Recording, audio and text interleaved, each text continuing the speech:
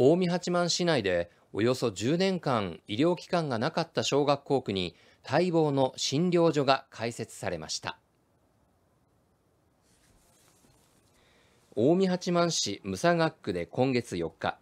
小西治市長や地元住民らが参加し武蔵診療所の開所式が行われました。市などによりますと武佐学区では2012年から学区内に医療機関がない状態が続いてきました特に高齢者の場合はですね、まあ、朝の、ね、受付に行かれる場合からかなり朝の早くの時間からバスに乗らなあかんということでで、えー、転々として着いてね、えー、まあ帰ってくるたらもうなんかちょっとぐったりしてるということをまあ聞いております。それとまあね、えー、急なね、え、ちょっと体調が悪くなったりとかいうことでなかなかあ一人で悩んでられたりとか声をたくさん聞いております。12年間医療機関がなかったものですから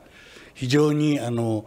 えー、地域の方が非常に困っておったのが現状でございます。ムサ学にとって念願のところができたということで喜んでおります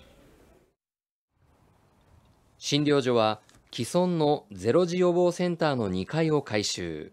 心電計や超音波診断装置が設置されており私立総合医療センターから派遣される医師が診療に当たります。高齢者の方がやっぱり多いと聞きますのであのいろんな健康相談ですかね。あの少し具合が悪い時にこれはどういうことかなということを、気軽に聞けるところという形であの運営してきたらいいと思っております。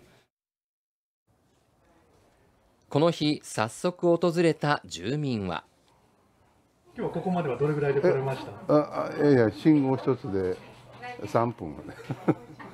えー、ここまでは15分以上かかるな。うん、便利ええと思います。はい。